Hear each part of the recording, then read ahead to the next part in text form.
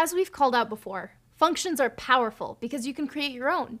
You can use them to organize the code in your scripts into logical blocks, which makes the code you write easier to use and reuse. Check out this example. This script uses the len function, which returns the length of a string. In this example, the script then uses that length to calculate a number, which we're calling the lucky number here. And finally, it prints a message with the name and the number. Each time we want to perform the calculation, we change the values of the variables and write the formula, then print a greeting followed by the lucky number. See how there are exactly two lines that are the same in the first and second part of the code? When you find code duplication in your scripts, it's a good idea to check if you can clean things up a bit by using a function.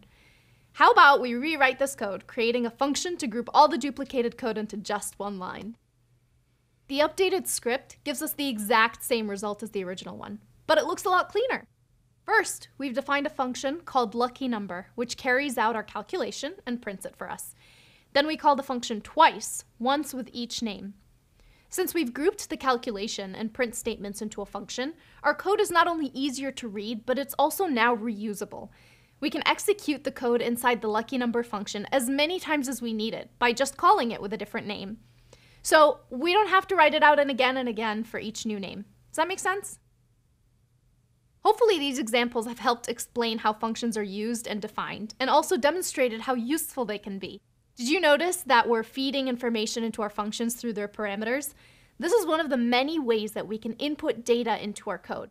The values for those parameters may come from different places, like a file on our computer or through a form on a website, but that doesn't impact our code. The result of the function is still the same no matter where the parameters come from. Functions are your friends. They can help clean up your code and do math so you don't have to.